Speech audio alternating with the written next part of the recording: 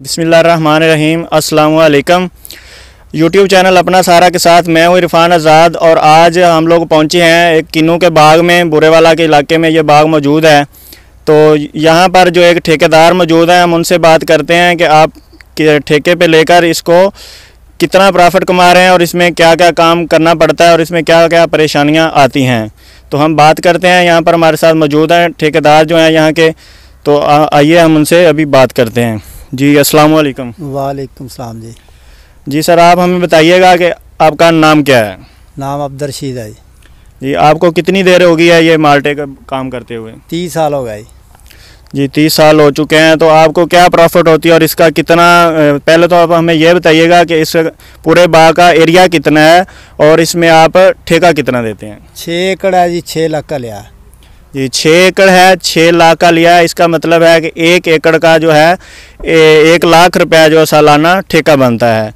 तो आप मुझे ये बताइएगा कि इसमें परेशानियाँ क्या क्या आती हैं? आपको क्या मुश्किल पेश आती हैं इसमें?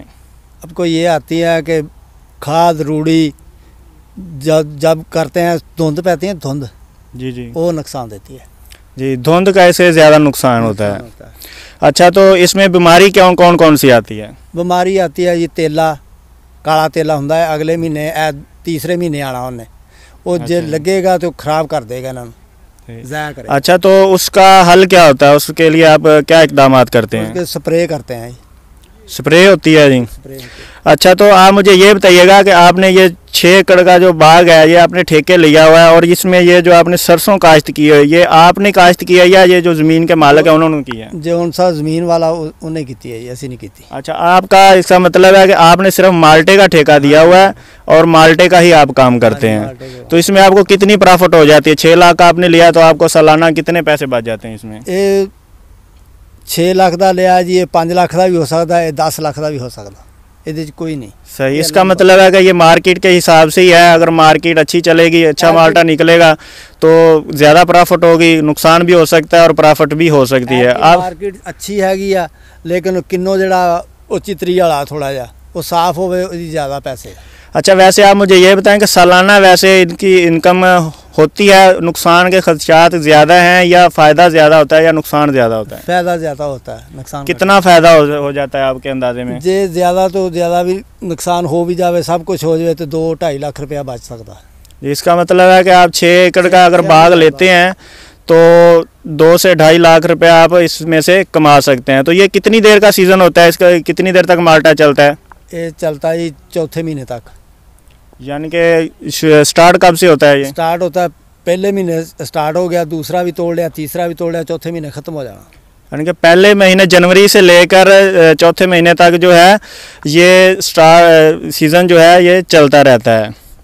तो आप मुझे ये बताइएगा कि आप इससे पहले भी काम करते रहे हैं ये? हाँ जी बहुत काम किया जी अच्छा आपने अपना बाग भी लगाया है कोई? नहीं आप तो नहीं। ठीक है अच्छा। अगर अपना लगा कर काम किया जाए तो उसमें कैसा रहेगा ये काम? तो बहुत अच्छा रहता है। तो एक एकड़ में कितने पौधे लगाए जा सकते हैं माल्टे के? एक सौ ला एक सौ एक एकड़ में लगाया जाता है यानी कि कितने फासले पर हो एक एक पौधे से जो दूसरा पौधा है इसका कितना बीस फुट ये बीस फुट के फासले पर एक पौधा जो है ये लगाया जाता है। जी हमने ठेकेदार से भी बात की आपको दिखाया कि उन्होंने भी आपको सब बातें बताई हैं कि इसमें क्या क्या प्रॉब्लम होती है, इसमें बीमारी का क्या हल है। तो सालाना जो इसकी इनकम का अंदाज़ा जो हम लगा सकते हैं, वो यही है कि ढाई से तीन लाख इससे ज़्यादा भी हो सकता है, इससे थोड़ा कम भी हो सकता है। वो तो मौके की मुनासबे से हिसाब से होता है, आपके अपने इलाके के हिसाब से हो सकता है। तो इसी के साथ ही मुझे इजाज़त दीजिए और मेरे चैनल को सब्सक्राइब ज़रूर कर लीजिएगा ताकि हमारी नई आने वाली वीडियो जो है वो सबसे पहले आप तक पहुँच सके। और कमेंट्स करके हमें ज़रूर बताइएगा कि आपको ये वीडियो कैसी लगी और अगली वीडियो आप किस मौजू पर चाहते हैं। कैमरामैन महमूद हसन के साथ मोहम्मद इरफान को इजाज़त दीजिए। अल्लाह हाफिज़।